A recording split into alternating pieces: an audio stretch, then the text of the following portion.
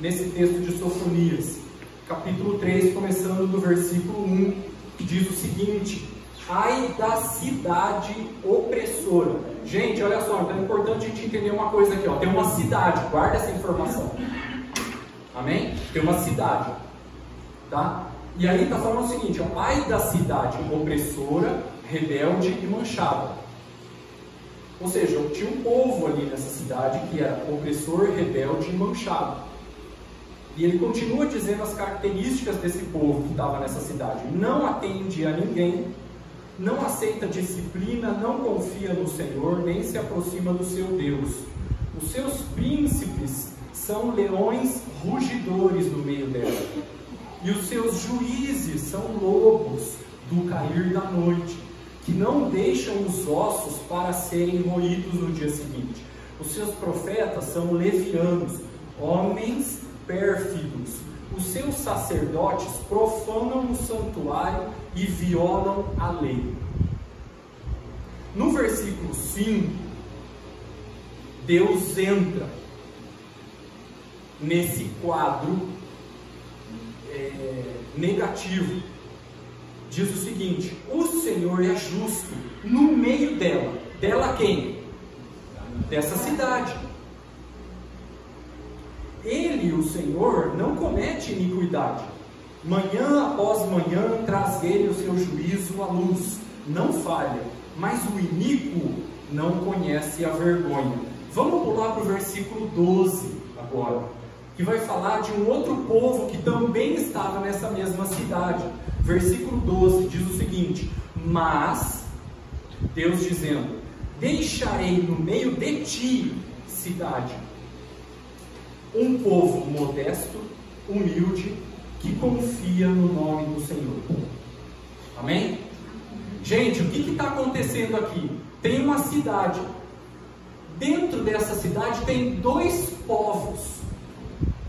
Um povo que tem todas essas características negativas, opressor, rebelde, manchado, não atende a ninguém, não aceita disciplina, não confia no Senhor, nem se aproxima do, do Senhor, do seu Deus e por aí vai.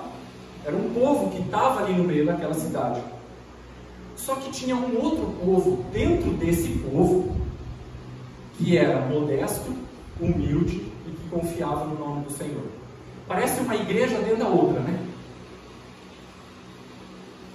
Porque Deus está no meio,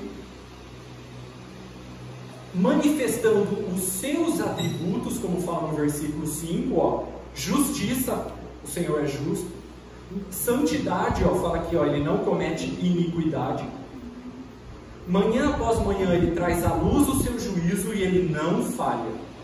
Então Deus estava no meio desse, desses dois povos. Então parece uma igreja dentro da outra. Às vezes a igreja parece que é assim também. Parece que tem uma igreja dentro da outra igreja, daquela mesma congregação. Um povo que é opressor, rebelde, manchado, não atende a ninguém, e essas características todas que ele coloca aqui nos primeiros versículos. Mas tinha um povo que Deus deixou ali no meio, uns remanescentes, que estava ali também, no meio. E era um povo modesto, humilde e que confiava no Senhor. Então, olha só, uma característica, ou as características de um povo que estava ali naquela cidade é opressor, rebelde, manchado, não atende a ninguém, não aceita disciplina, não confia no Senhor, nem se aproxima do seu Deus. Os príncipes são leões rugidores, os juízos, os juízes são lobos, os profetas são levianos, tem ali homens pérfidos e os sacerdotes profanam o santuário e violam a lei. Essas são as, as características desse povo mau. E tem um outro povo que tem três características: modesto, humilde e que confia no nome do Senhor. E tem os atributos de Deus que está ali no meio desses dois povos, manifestando essas características do seu caráter, justiça, santidade e que proclama o seu juízo manhã após manhã e ele não falha. Então olha só, gente, a primeira característica desse povo malvado, qual que é aí? Que está no versículo, versículo 1, opressor. Tá vendo aí ó, o texto que fala assim, ó, ai da cidade opressora. O que, que é opressor, gente? Ou como que nós podemos oprimir as pessoas? Nós oprimimos as pessoas quando nós somos rápidos em julgar e apontar o dedo. Isso é uma maneira de expressar a opressão. Quem é julgado se sente oprimido pelo seu opressor, que é rápido em apontar o dedo e julgar. Isso me lembra muito aquela experiência que Pedro teve com Jesus. Jesus estava andando por cima do mar, os discípulos estavam no barco, ficaram assustados. Pedro falou assim: Se é o Senhor mesmo, manda eu ir até você. Jesus falou: Vem. Pedro começou a andar sobre as águas, começou a reparar na, for na força do vento, ficou com medo, começou a afundar. A hora que ele começou a afundar, a Bíblia diz assim: ó, prontamente Jesus estendeu a mão. Trouxe Pedro aqui para perto, depois apontou o dedo e repreendeu a falta de fé dele. O que, que nós aprendemos com isso? Primeiro estende a mão, depois aponta o dedo. Agora, o problema é quando tem uma igreja dentro da outra, e uma dessas igrejas que está dentro da outra é rápida em apontar no dedo e julgar. E o Espírito Santo ele quer mudar esse nosso comportamento. Ele quer que a gente seja igual a Jesus. Em Mateus 14, 31 diz assim: ó, prontamente Jesus estendeu a mão. Trouxe Pedro para perto dele aqui. Depois que ele se sentiu seguro, apontou o dedo e repreendeu a fé de Pedro. Se a gente fizer essa ordem inversa, nós seremos um povo opressor.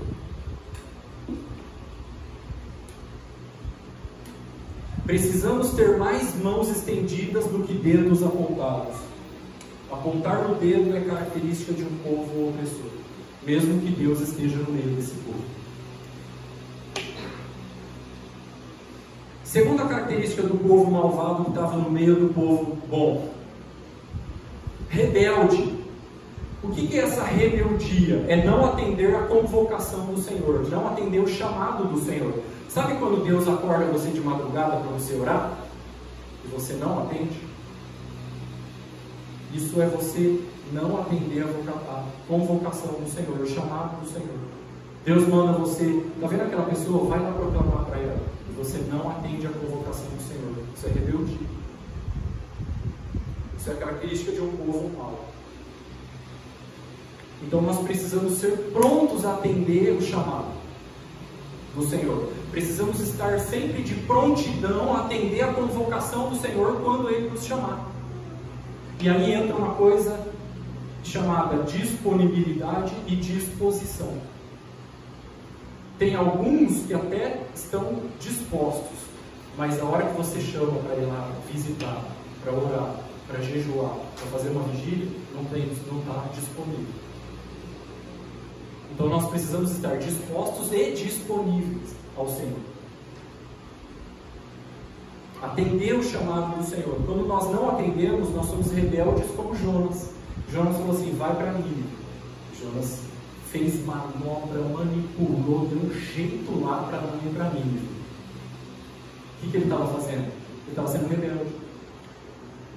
Ele estava rejeitando, ele estava negando a convocação do Senhor, o chamado do Senhor.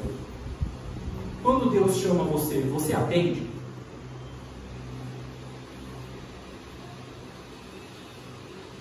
Sabe qual é o problema da gente negar o chamado do Senhor quando Ele nos convoca? É que ali a nossa fé vai começar a ficar seca e mecânica. Que nem a Sulamita, lembra da Sulamita que eu ministrei aqui? Do Salomão e a Sulamita?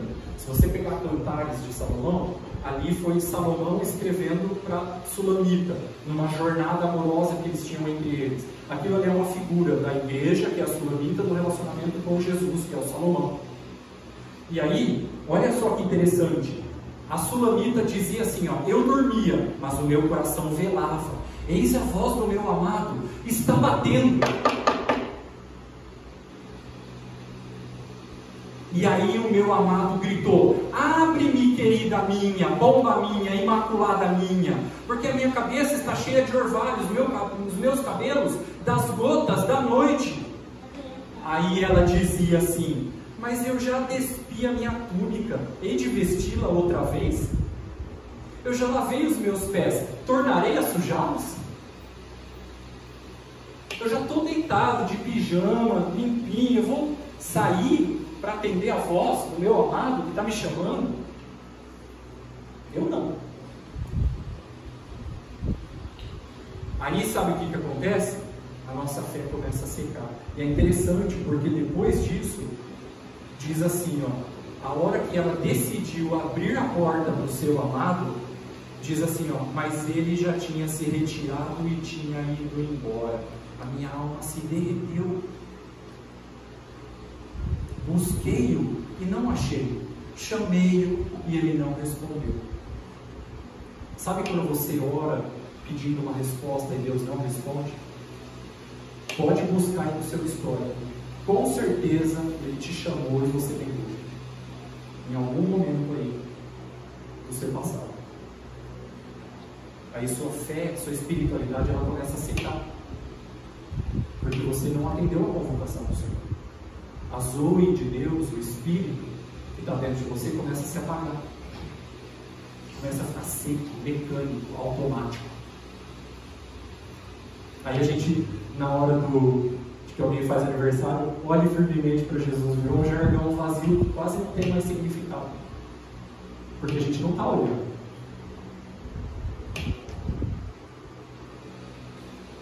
Então o que, que nós precisamos? Estar prontos a atender a convocação do Senhor. Quando Deus chamar, atende. Estejamos prontos, sempre alerta, com o radar ligado. Amém, irmãos? Terceiro, terceira característica desse povo mau é um povo manchado. O que é manchado? Poluído, sujo, impuro. Com o que? Pecado. Então qual que é o problema? O problema é quando a gente dá uma esfregadinha com o mundo e depois dá uma esfregadinha com Deus. Dá uma esfregadinha com o pecado e depois dá uma esfregadinha com o Espírito Santo. Aí a gente vai ficando manchado, poluído, sujo, impuro com o pecado. Eu gosto da igreja de Jerusalém quando eu leio Atos 2, porque fala que a igreja da cidade de Jerusalém caía na graça de todo o povo. Mas cair na graça de todo o povo não significa que a igreja fazia manobras políticas para o povo gostar dela. Não. Essa palavra cair na graça vem do grego caris. Caris significa exercer santa influência. Então diz que a igreja da cidade de Jerusalém exercia uma santa influência sobre o povo daquela cidade. A, povo, a ponto do povo admirar de longe, mas temendo de andar com eles. Porque sabia que a igreja não podia conviver com o pecado. Porque Deus estava no meio deles. Teve um casal que mentiu e caiu fulminado, morto. Porque pecou, porque mentiu. Então era impossível que o povo convivesse junto com Deus, andasse com Deus e ao mesmo tempo adaptado, acomodado com o pecado. Então nós precisamos definir de que lado que nós estamos, de, de qual povo que nós somos, dessa igreja dentro da outra. Então, é, nós precisamos fazer um novo voto de fidelidade ao Senhor. Agora, gente, olha só, como que nós vamos exercer uma santa influência sobre os habitantes da cidade de Agudos se a gente mentir, falar palavrão, baixar filme pirata da internet, dirigir sem carta, jogar papel na rua, furar fila, não pagar as nossas dívidas,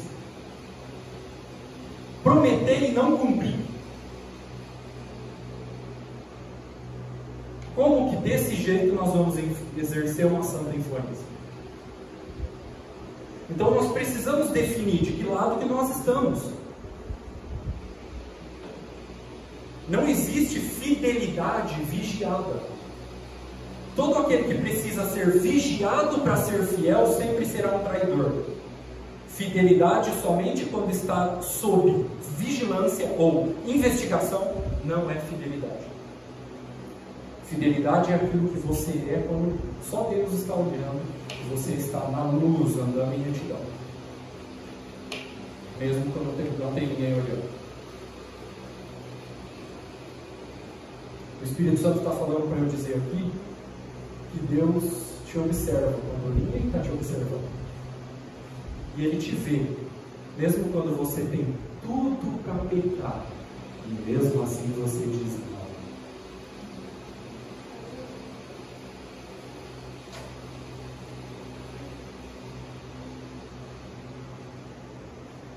Quarta característica desse povo mau: não atende a ninguém.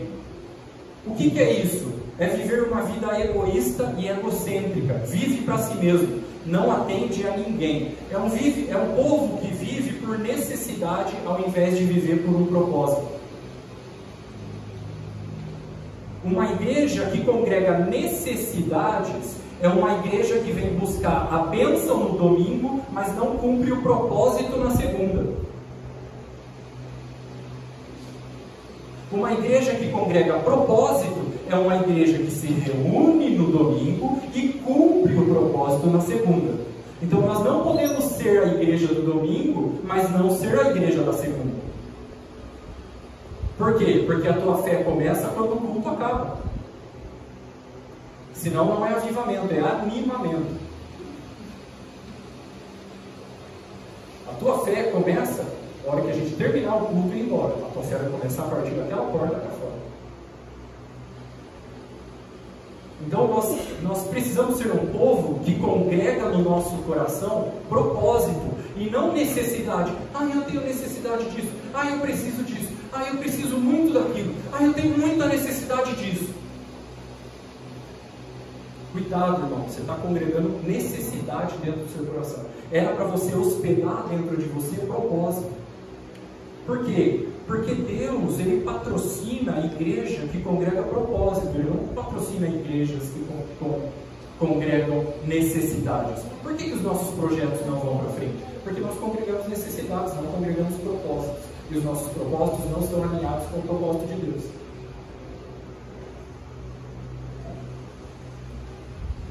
Eu lembro uma vez que eu fui convidado para ir para o Chile, e eu não tinha, eu estava desempregado em 2014.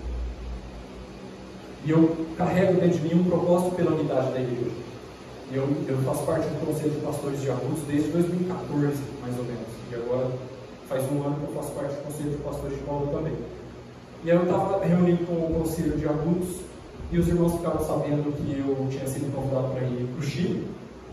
E eu estava desempregado, eles sabiam, e eles ofertaram e patrocinaram a minha, a minha viagem para o Chile. Foi a primeira vez que eu fui para o Chile. Foi um marco, assim, um divisor de águas na minha vida. E aí eu lembrei que Deus, Ele patrocina igreja que hospeda propósito. Deus não se associa a uma igreja que hospeda necessidades. Então nós precisamos é, congregar propósitos, entende? É, é, nos envolver com o que Deus quer fazer na vida das pessoas. Servir o propósito em favor dos homens. Servir o propósito em favor dos homens. Servir o propósito em favor dos homens. Nós precisamos nos envolver, não podemos estar alheio às necessidades das pessoas. Se envolva com o problema da sociedade. Qual é o problema da sociedade? Um monte. Se envolva, use seus dons para você servir as pessoas. Nós não podemos não atender ninguém. Senão não é um propósito que nós temos, é egoísmo. Se o seu propósito de vida é, não beneficia as pessoas, não é um propósito que você tem, é egoísmo. Nós não podemos ganhar sozinhos. A tua vitória, é, ela precisa beneficiar as pessoas também. Nós não podemos ganhar sozinhos. Nós não podemos ser salvos sozinhos, restaurados sozinhos. Nós precisamos compartilhar, as pessoas também precisam ser beneficiadas com as bênçãos que nós temos recebido. Davi venceu Golias, mas toda a nação de Israel ganhou com isso. Não foi só ele que ganhou. Entende? Então, é, se nós não temos compromisso com o propósito, nós não nos envolveremos com as necessidades das pessoas. Sempre vamos estar alheios. Congregando as minhas necessidades egoístas e egocêntricas. Agora, se eu tenho compromisso com o propósito de Deus, eu vou me envolver com o problema das pessoas. Deus ele quer ser o pai social através de nós. Então nós precisamos nos envolver. Agora, a característica desse povo mau qual é? Não atende a ninguém. Ah.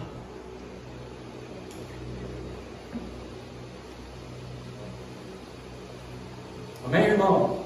Amém. Quinto, não aceita disciplina. Agora, gente, olha só. Aqui nós facilmente, a primeira instância, nós entendemos o quê? Que não aceita ser corrigido. Não é? Não aceita disciplina, a primeira coisa que vem na nossa cabeça. Não aceita ser corrigido. Mas olha só, a gente tem aprendido que disciplina, ela significa treinamento. Então, o povo mal que estava nessa cidade não aceitava treinamento, não aceita ser treinado. E quando nós somos treinados, irmão, é treinado para cumprir o propósito, treinado para funcionar no nosso dom, no teu dom, no teu ministério. Qual é o seu chamado? Então nós precisamos ser treinados para isso. E a gente precisa se colocar debaixo desse treinamento para que isso seja algo gradativo, que isso cresça, isso progrida, isso evolua. O nosso dom ele precisa evoluir, ele precisa crescer. Como o John fala, nós não podemos ser engenheiro de obra pronta, né? Nós precisamos crescer. A palavra fala em 1 Coríntios capítulo 14, oh, Jackson, obrigado.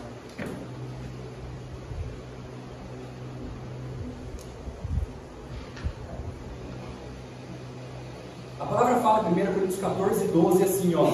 Visto que vós desejais dons espirituais, procurai progredir.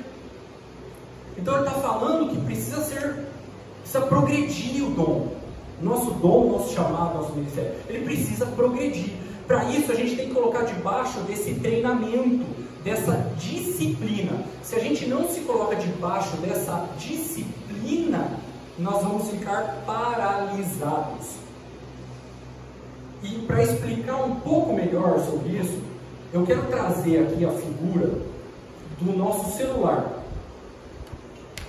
Sabe quando você vai instalar um aplicativo, aí, aí fala assim, ó, o seu sistema está desatualizado. Você precisa atualizar o sistema para conseguir baixar esse aplicativo. Alguém já passou por isso não? Aqui? Já? Quando você vai tentar baixar um aplicativo, ele fala lá, o seu sistema está desatualizado. Aí você tem que atualizar o sistema para conseguir baixar o aplicativo. Então, gente, o que, que eu quero aplicar aqui na nossa vida com isso? Nós precisamos atualizar o nosso sistema, sem perder os princípios e a essência. Sabe por quê? O mundo, não sei se você reparou, mudou. O mundo mudou. Há 10 anos atrás, o problema que os dentistas enfrentavam era cárie. Hoje está todo mundo educado, dificilmente alguém tem cárie. Qual é o problema que os dentistas enfrentam hoje? Bruxismo, o pessoal está estressado, o pessoal está ansioso e morde o dente à noite. A minha dentista estava falando isso para mim. Márcio, a gente não teve problema com cárie. Nosso problema agora é outro. Nosso problema agora a gente está enfrentando bruxismo a gente tem que fazer a placa, a gente tem que tirar aquele amálgamo cinza, tem que colocar agora resina. Só que a geração minha, a minha geração, está tudo com amálgamo no dente. Tem que trocar tudo. Então é necessário uma atualização sem perder a essência, o fundamento e os princípios. Não tem problema você ter conhecido o Ayrton Senna. O problema é se sua cabeça ficou lá.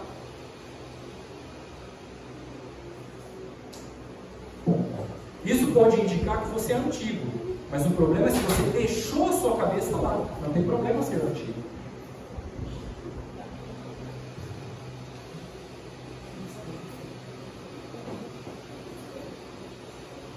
Gente, quando eu era criança, não tinha computador, não tinha internet, não tinha celular, tinha dinossauro.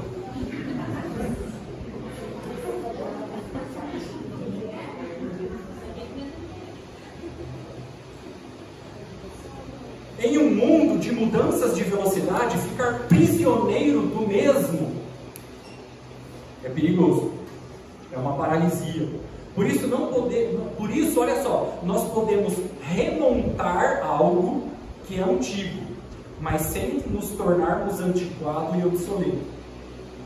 Não precisamos entrar em um mudanismo de mudança desenfreado. É só mudar aquilo que precisa mudar. Eu lembro que há uns anos atrás eu tava, eu fui enviado para uma cidade de Minas para trabalhar com o presbítero e com a igreja lá. Eu estava hospedado na casa do presbítero. Os dois filhos do presbítero chegou para mim e falou assim: Márcio, você tem Instagram? Eu falei: Que isso? Eu não sabia. Eu sabia que era Facebook, já tinha, mas eu não sabia que era Instagram. Ah, é isso aqui, ou tal, não sei o que, você tem que fazer. Eu falei: Não, para que esse negócio de trem, não é de Deus. Não é de Deus, irmão. Não é de Deus. Não, Márcio, você tem que fazer, colocar seus conteúdos lá, vai. Aí, com muita insistência deles, eu resistia. Aí eles, eles fizeram o Instagram para mim. Aí eu fui aprendendo, eu fui começando a colocar meu conteúdo lá, muita gente foi assistindo, né, os irmãos de outros países, inclusive e tal. Aí eu fiz meu livro, saiu meu livro. Eu falei, puxa, eu vou usar a, a ferramenta do Instagram para vender meu livro, né? Vai bombar. Aí eu coloquei lá no Instagram, um ou dois compraram. Eu falei, puxa o que será que está acontecendo? Não é de Deus, sabia que não era de Deus esse Instagram. Aí vinha o Alessandro e falava assim, você está colocando errado, tem horário certo, tem cores corretas, tem texto, tem copyright, tem frases, tem palavras corretas para você colocar. Eu falei, não, é. Aí eu falei, cara, eu vou fazer uma reciclagem. Aí eu fui fazer um, um curso gratuito de marketing digital. Quatro dias. Aí abriu aquele universo. Falei, meu Deus, estou fazendo tudo errado. Por isso que não dava resultado. Aí eu aprendi o, o horário certo, de colocar a cor certa, a, as frases, a copyright correta para colocar. E aí, em torno de dois meses, eu vendi os 40 livros. Não. Em dois meses, eu vendi 200 livros. 30 reais cada um. Em dois meses. Eu falei, epa, acho que é de Deus esse negócio.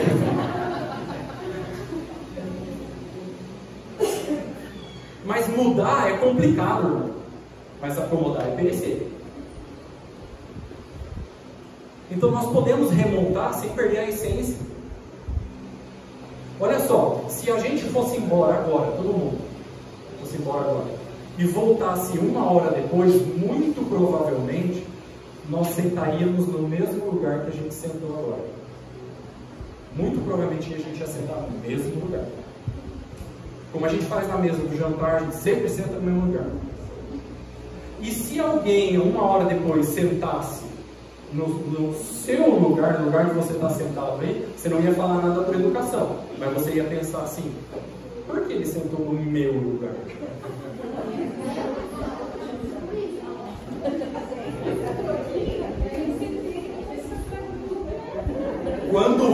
Porque a verdade entrou.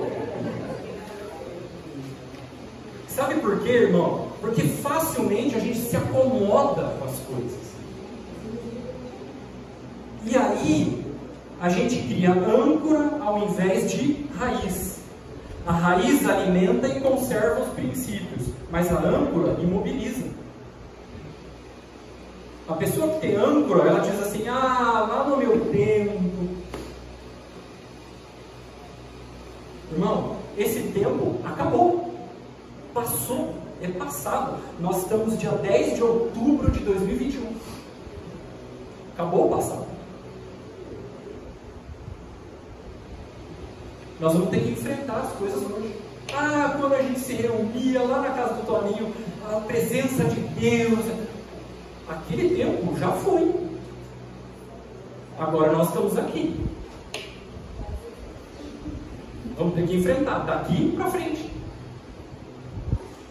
E aí eu volto a resgatar aquela palavra que eu compartilhei em 2019, Ebenezer, até aqui nos ajudou o Senhor.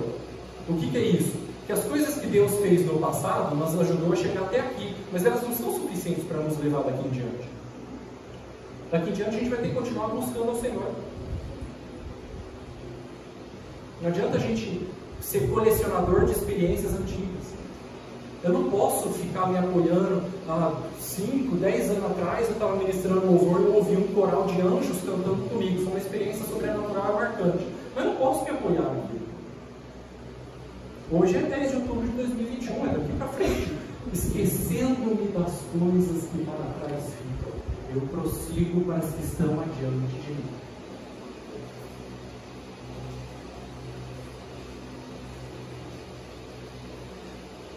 Os discípulos que se convertem hoje, irmão, são diferentes de 10 anos atrás. Quando eu batizei no Brasa há 16 anos atrás, era uma coisa. Mas quando eu batizei, eu e o Jéssica batizamos o Valdinei, quando eu e o Tavares batizamos o Talcinei esse ano, a cabeça deles é completamente diferente.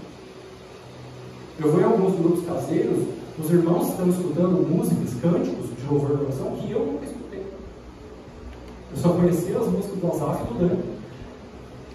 Aí eu, aí eu fiquei conhecendo, eu falei assim, eu preciso escutar o que os irmãos também estão escutando, para saber o que mexe com eles. E tem muito desses cantos que eu não gosto, mas eu escuto. Eu não sou obrigado a gostar, mas eu tenho que saber. Tem discípulos que eu cuido que gostam de jogar joguinho. Eu tenho que ir lá na internet e saber que joguinho que é esse, para eu saber o que tem na cabeça dele. Eu não gosto de jogo, mas eu tenho que saber.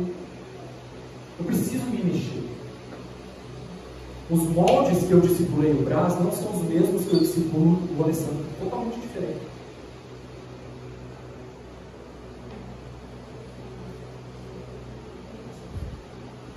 Amém, irmãos? Então nós precisamos nos colocar debaixo de uma disciplina que nos treina no nosso dom a desenvolver, a crescer, a progredir.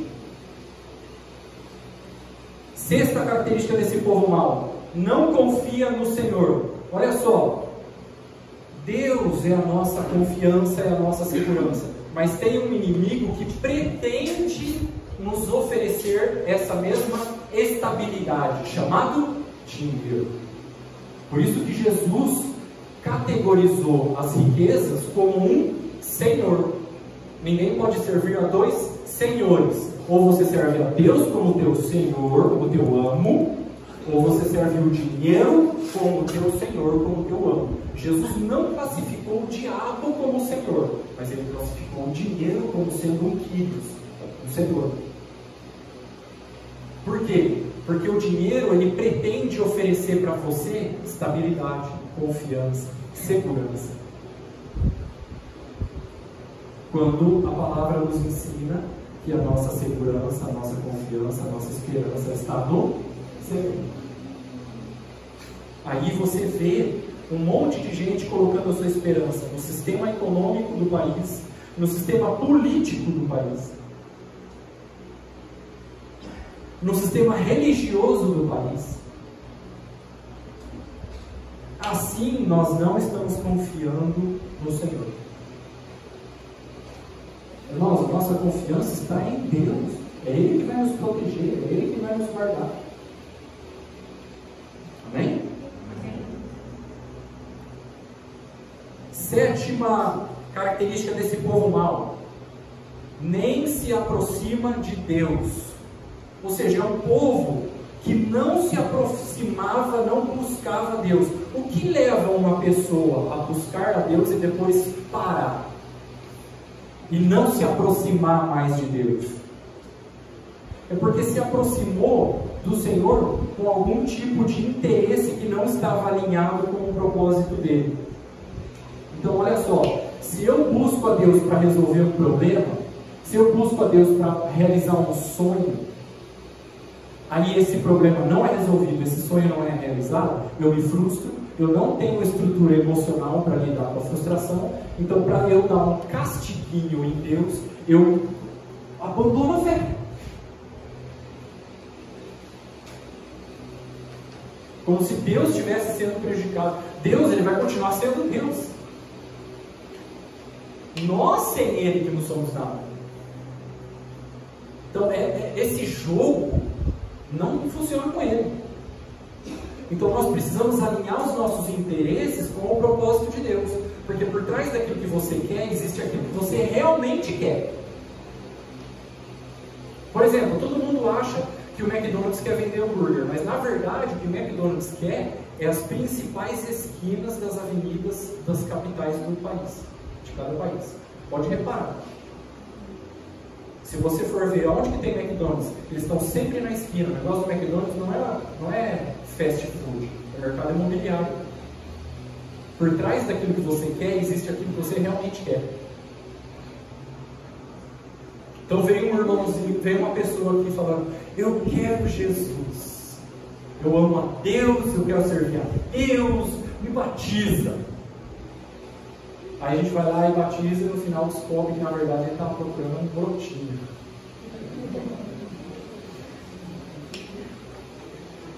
Entende? Eu não sou batizado para poder tocar no louvor. Eu não sou batizado para ficar com a filha do pastor.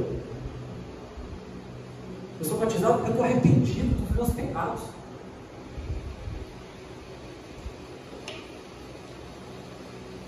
É por isso que uma pessoa vem, parece que está aleluiada, mas logo essa chama se apaga e vai embora.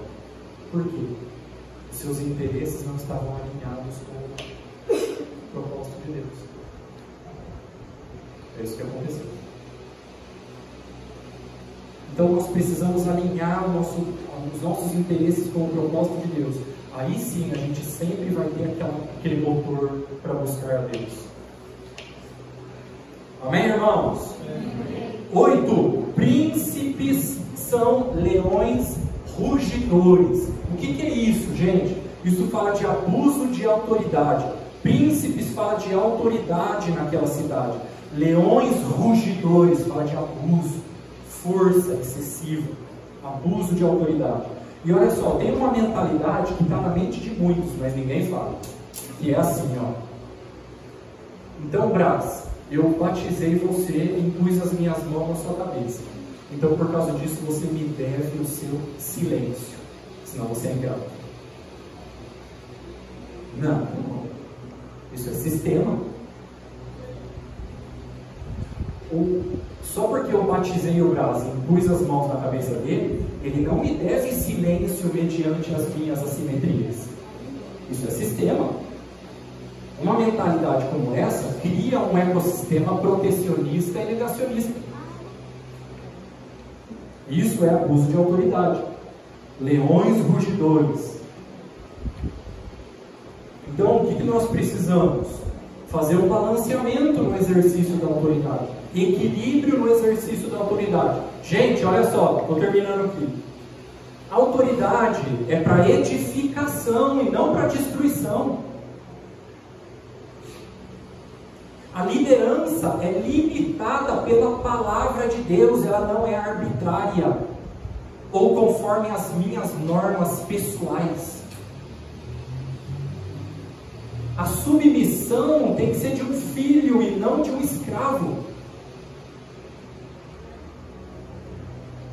Não pode ser caracterizado pela ameaça, pelo temor, pelo medo, pela obrigação. A autoridade delegada não tem nada a ver com a salvação do discípulo, é só uma forma de governo. Um líder nunca pode tomar o lugar de Jesus como Salvador ou como mediador entre ele e Deus.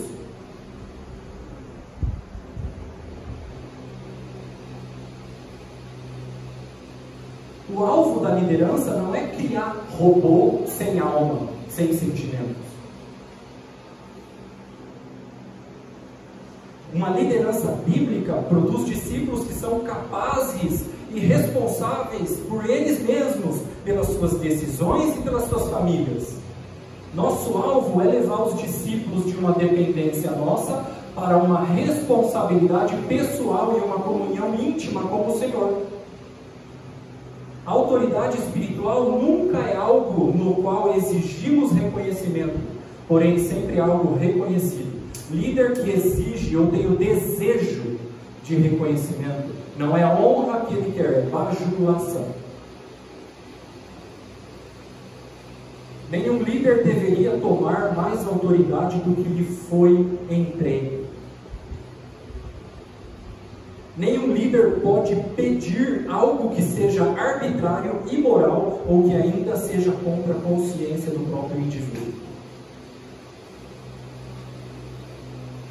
Então nós precisamos fazer um balanceamento, equilíbrio no exercício da autoridade, para não sermos lobos, não, príncipes, leões, rugidores.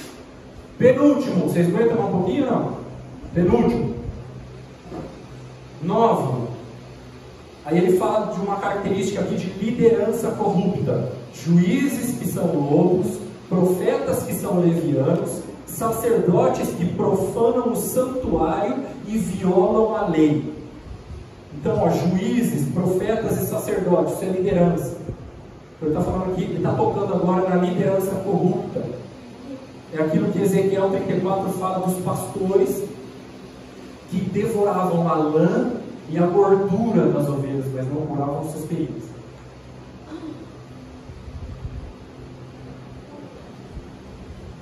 Mês passado, eu soube de um testemunho de um pastor de uma congregação nos Estados Unidos, com aproximadamente mil pessoas. E a, o louvor terminou assim, ele pegou o microfone e dizia, é, glória a Deus, vamos levantar as mãos, porque dele, por ele, para ele são todas as coisas. Glória, pois, a ele eternamente, amém. O pastor falando, a congregação toda presente. Vamos abrir a nossa Bíblia não sei onde. Hora que ele ia começar a pregar, um membro se levantou, subiu na plataforma, chegou assim para o pastor, arrancou o microfone à força da mão dele, pegou o microfone tremendo, assim, chorando. Fala assim, eu fui batizado aqui, ó, nesse batistério aqui atrás. Aí o pastor ficou desesperado, tentou pegar o microfone, botou a mão no peito do pastor assim e falou assim: Esse pastor aqui me batizou. Ele fez meu casamento. E se deitou com a minha esposa.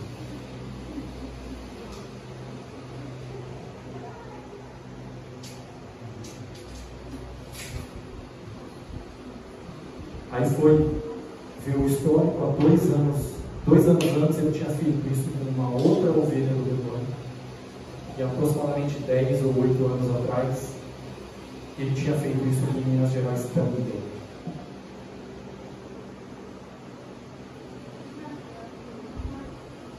Você não consegue controlar seus impulsos, não pode ser pastor, outra coisa. Não na obra.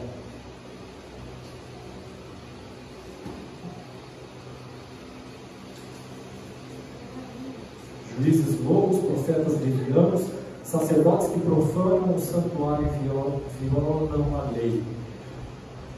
Décimo e último, homens pérfidos. O que é pérfido? Eu fui pesquisar o que significa a palavra pérfido, significa desleal. É aquilo que Paulo fala em Coríntios, que é compartilhar o pão da malícia e da maldade. O que é compartilhar o pão da malícia e da maldade? Então o Everton faz alguma coisa que eu não gostei, eu viro o meu canhão para ele e fico agora só esperando a próxima oportunidade para eu me vingar. Isso é compartilhar o pão da malícia e da maldade. Vingança, manipulação, manobra, ciúme, inveja, competição. Isso é corrupção. Nós não podemos ser pérfidos, desleais, compartilhar o pão da malícia. 1 Coríntios capítulo 5, versículo 8, Paulo dá uma palavra apostólica para a igreja da cidade de Corinto, dizendo o seguinte: celebramos a festa não do velho fermento, nem com o pão da malícia e da maldade, e sim com o pão da sinceridade e da verdade. E a característica daquela igreja que estava dentro dessa outra igreja é modesto, humilde que confia no nome do Senhor. É o único jeito de viver esses últimos dias, mesmo que em meio a um povo com essas características negativas. Modesto, humilde e que confia no nome do Senhor. Características indispensáveis para a gente viver os nossos, os nossos dias como discípulos de Jesus.